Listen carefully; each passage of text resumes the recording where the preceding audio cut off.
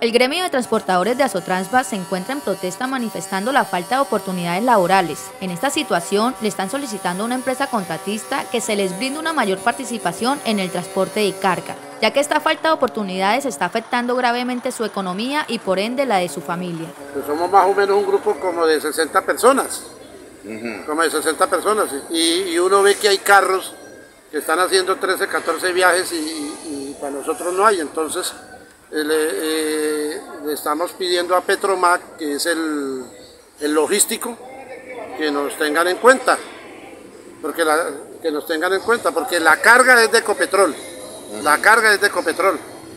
Entonces, eso es.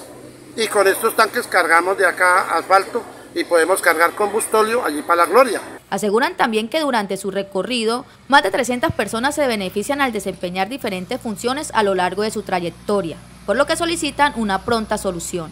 Una de las afectaciones que hay a nivel de que los conductores del gremio camionero de Barranca Bermeja está orillado, como le decimos, lo orillaron, es porque por la falta de carga, la carga de la banar a foráneos.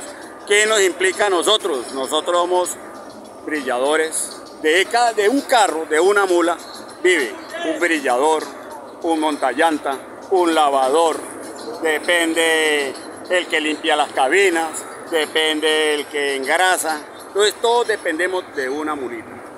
Cada mulita de estas que nos orillan es un peso menos que nos entra la canasta familiar de nuestras casas, humildemente. Entonces, ¿qué pedimos?